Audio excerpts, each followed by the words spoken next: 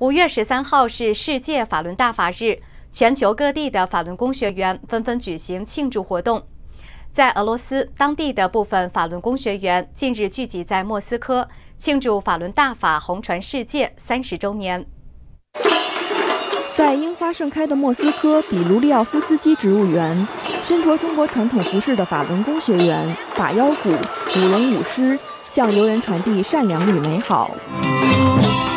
他们的精彩表演吸引大人小孩停下脚步，举起相机，脸上露出笑容。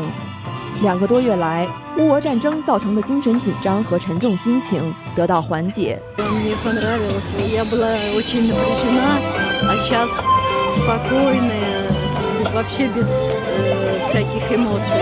Конечно, обязательно нужно каждому человеку уметь остановиться, прислушаться к себе, замедлиться. Верно, это мне.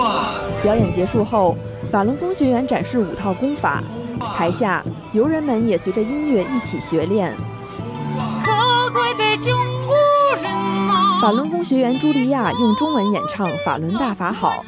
她从2004年开始修炼大法，当时她还是一名18岁的学生，现在已经成了博士生。Меня зовут Юля, я занимаюсь совершенствованием по дафа более 17 лет.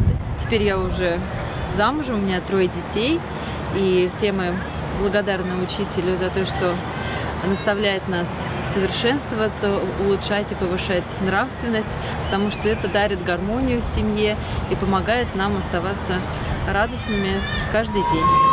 乌俄战争持续，人们表示需要和平的力量平复内心。На самом деле, когда вокруг такая остановиться и посмотреть вглубь себя, это очень 新唐人电视台记者奥塞纳，俄国莫斯科报道。